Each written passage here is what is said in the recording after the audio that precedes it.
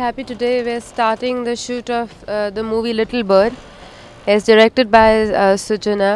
Uh, on camera, I have we have um, Baba Garu. Um, I'm a big fan of Baba Garu. I think he's amazing with whatever he does. He's uh, extremely talented.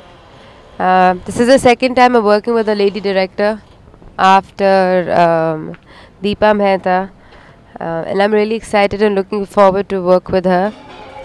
Um, it's a very interesting role, very interesting character, and I'm really happy that today uh, um, we had the puja, and I'm looking forward to start the shoot for the film.